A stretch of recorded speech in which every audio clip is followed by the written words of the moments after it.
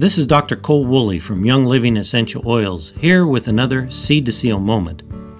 I'm here at the Young Living Lavender Farm in Mona, Utah. It's springtime, so the ground is warm and the lavender plants are thriving.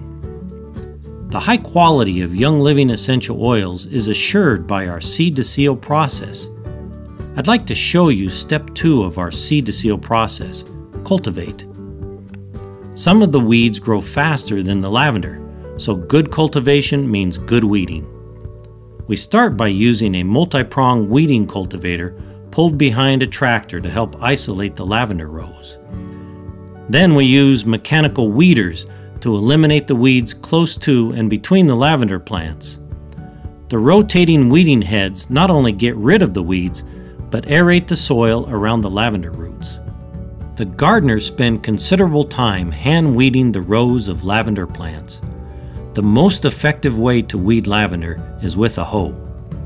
This is how we eliminate the final weeds that grow close to the lavender plants.